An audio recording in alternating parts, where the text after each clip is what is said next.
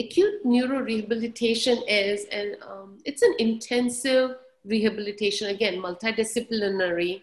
And again the patients should be able to handle three hours of therapy. They should be able to tolerate that kind of therapy. Again the interdisciplinary team means um, a physician a rehab physician. They are called pmr physical medicine and rehabilitation physicians. We have otpt speech and then we have, um, you know, the speech language pathologists, they'll also look at the swallowing. Um, and they also, there's a case manager, there's a psychologist who is involved to, uh, de, uh, to help them emotionally adjust to their condition. And then there is a social worker, you know, to, after the patient is being discharged, what, you know, what to expect to help them with that transition. And then, you know, the patients get intense therapy, three hours a day, five to six days a week. That is what it um, involves the acute neurorehabilitation. And the, again, the page, uh, patients get from cognitive to physical to occupational and all those kind of therapies in a one umbrella. It's an inpatient setting. Uh, that's what they get it.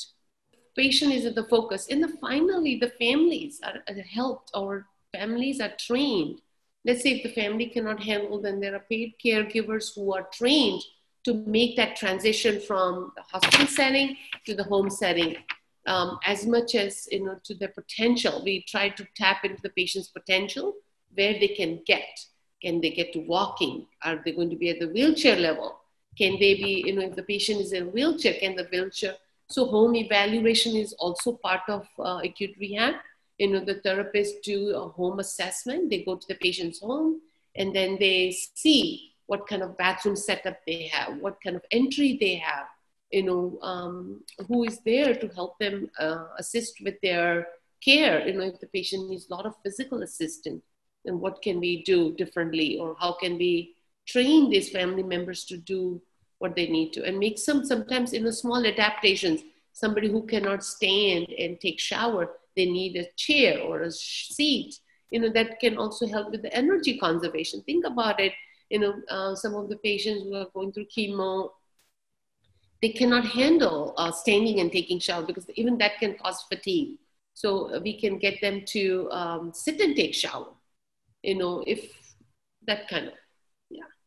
In the place I work, um, we have different levels of rehabilitation like we provide acute you know let's say somebody just had a brain surgery or you know brain tumor due to um, you know the metastasis or it just it's a benign one meningioma and the patient um, they have a surgery but they are not ready for the acute rehab. Then they get subacute rehab. That means you know patients are seen for occupational physical and speech therapy. There's a case manager also.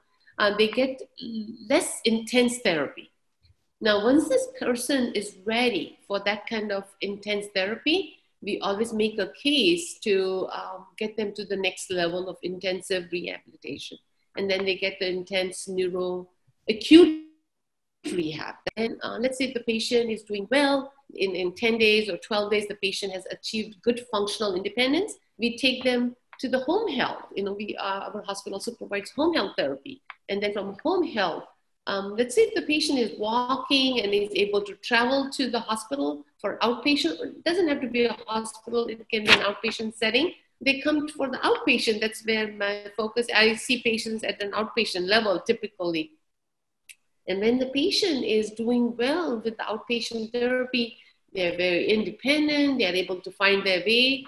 You know, uh, our outpatient setting is at the third floor. So for me, you know, if um, patients, you know, especially the younger ones, they will always want to ask me, oh, I, I want to get back to driving. So my criteria is, are you able to find your way from the parking lot up to the therapy gym? And can you meet me here, you know, independently without, as I mean, you can ask for help if you cannot find it, but being able to independently walk, problem solve, find your way, um, no fall of, I mean, no fear of falling, if they're at a fall risk, we, could, we do not clear them.